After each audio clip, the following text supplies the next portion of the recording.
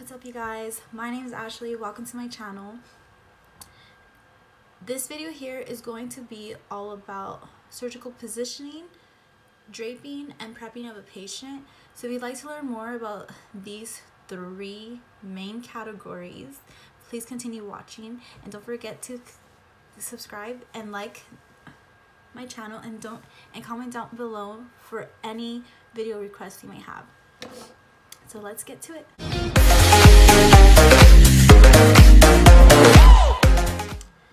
So I want to talk about the four major prepping positions that we use in surgery. One is supine, two is prone, three is lithotomy, and four is lateral. There's other positionings that you'll find in your book or you'll learn along the way of doing your internships or in school. But I'm going to go over these four positions because they're the positions we see most often. Um, due to the types of cases that we what we do. So first position is supine. And I'm going to post a picture here of what a supine position looks like and the supine position and I'm also going to post a post a picture of the things you would need for a supine position to make your patient comfortable and make sure they don't leak with any pressure points that were bothered during surgery. So for the supine position, patient is going to be laying face up to the ceiling on their back with either arm boards or no arm boards. Some doctors like their arms tucked in. And this position is mainly used for all your general cases. Um, any thoracic cases as well, depend depending on what type of thoracic case you're doing but all of your general cases, lap choles, lap appies, open, open laparosc laparotomies, hernia repairs, ENT cases.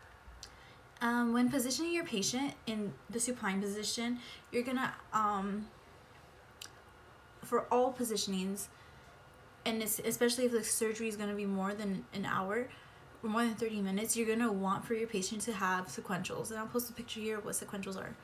So basically, what they look like. Sequentials are these devices that help pump and circulate blood through the patient's legs so that they don't, there's no cause for clots just because they're laying there.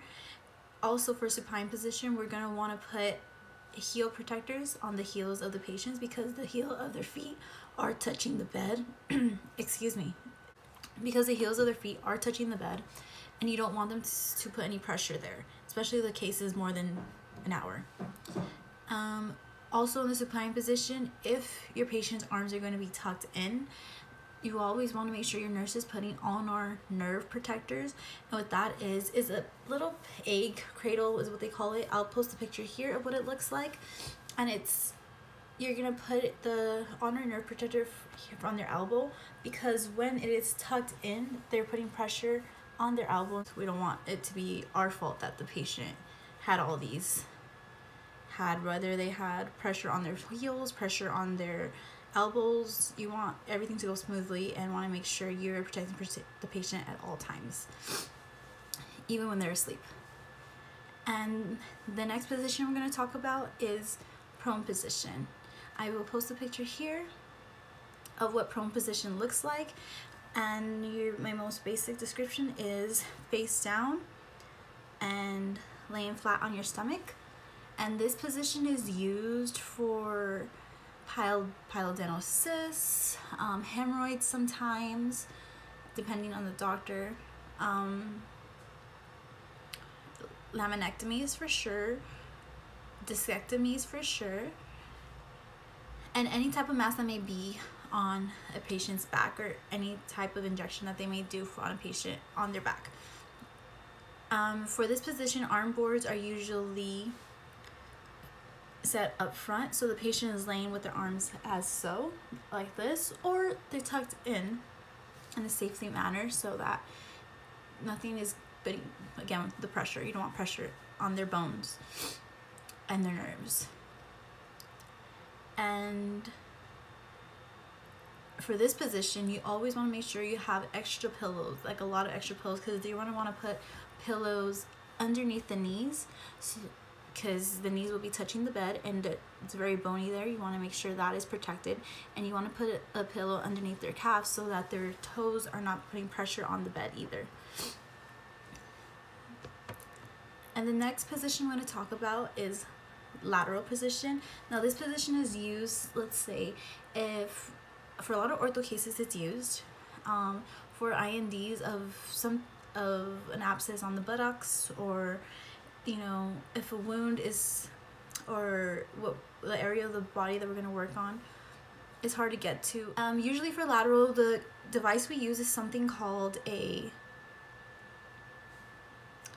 a beanbag and the beanbag what it does and I'll post a picture here what a beanbag looks like what it does is you lay the patient on it you adjust them on how you want it and you you make sure your your patient is positioned exactly how you want it and we connect the suction to a tip to suck out all the air and just compress it so it's around the patient and it will keep the patient in the same position that we left him in without any movement. So the tech doesn't have to hold the patient while doing the case and it's much safer than to be worried whether the patient's going to roll over or not because they're not really positioned correctly with just blankets and for that for lateral position you want the patient you want to put a pillow in between the patient's two arms because their arms are going to be like this to the side. You want to put a pillow right here so that their arms are not touching each other, putting pressure on each other. And the last and final position that I'm going to talk about is lithotomy position. And I, I will post a picture here to show you what lithotomy position looks like. And I'll post another picture of the devices we use for lithotomy. So all hospitals will use different type of devices. There's Allen stirrups, candy canes, um, and just regular and Yellofins that's the yellow and these are like boot looking you'll see attachments that go onto the bed. And lithotomy position is basically the patient's on their back and legs are opened and separated. If you're a lady you would have been in this position before at a gynecologist's office when they put your legs in stirrups and you're opened up. Um, we use this position mainly for GYN procedures, but we can we also use it for um, some laparoscopic procedures that include the rectum and manipulation of the rectum. And with this position, just always want to make sure there's not pressure being put behind the patient's knees and you always want to make sure the Yellofins are at the exact same number so that the position the patient is positioned correctly and not one leg is higher than the other because when they wake up from surgery they're going to be pretty sore and you also want to make sure that the patient is closer to the lower part of the bed so that when the doctor is doing an exam in there he's able to put a retractor and the retractor is not being is not being bothered by the rest of the bed. They need to be kind of hanging off. Not really hanging off, but just a tad bit so that retractors can fit into their vaginal area properly or so that the doctor can have better access point into the anus or the rectum. And those are the four positions that we mostly see in surgery. I'm pretty sure you go to bigger hospitals, you see a lot more but I'm just going over the basic positions you may have to know about. Now, when it comes to prepping the patient, as in, you know, sterilely prepping them for surgery, um, we have three different types of preps that we use in our cases. Um, we have betadine, which is what we use mainly for vaginal cases. You do not want to use DuraPrep or ChloraPrep for vaginal cases. We also have DuraPrep, which usually takes like about three minutes to dry, and ChloraPrep, which you don't really have to be wait like another two minutes to dry for that one. Um, we mainly use DuraPrep and betadine.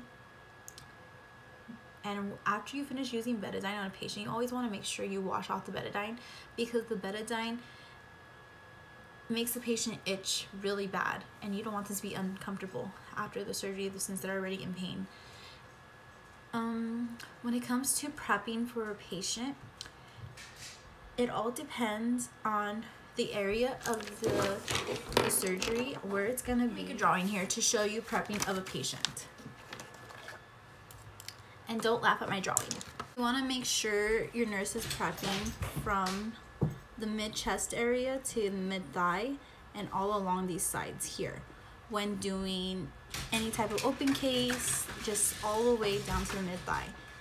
Um, when doing, when doing, or let's say you're doing an orthopedic case with the legs, the knee, you want your, you want your nurse or yourself, whoever preps at the hospital, to prep from the foot, which I didn't draw feet here, but you want to prep from the foot all the way up to the thigh, to the, the high thigh, all around it.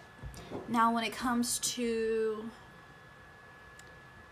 nasal cases, not all doctors require prep for nasal cases, but the doctors that we do work for do. And for that, it's just all along the nose area and along the eyes here. Now we're doing vaginal cases. Um, they're gonna prep all inside. I know, I know they're gonna prep inside and all along the thighs from here to here and all of this. Now when they're doing laparoscopic gyne gynecological cases, they're gonna prep all down here, down below, up to mid-chest area. And you never know if they're gonna have to open. Um, C-sections, the same. It, it would be more from the belly line, from where the belly starts on a pregnant patient. So from here, let's draw like a belly for a pregnant patient. From here to about here. And you want to make sure all surfaces are covered and everything has been properly prepped. Now, when it comes to draping of a patient for these cases, doctors always use four towels to square off. Um, if if a doctor wants you to prep to drape, that's perfectly fine. Just know where your incision sites are gonna be. Know your doctor and how they're gonna where they're gonna stand and what area of the body you're working on and what you're removing or what you're looking for. And I also had so those that's all you need to know about prepping 101 like the basics of prepping. There's not much you need to know because for the most part as a tech you will learn how a doctor wants you to drape and how they want you to prep as, as you start to work with them. Um, somebody asked about inserting Foley's.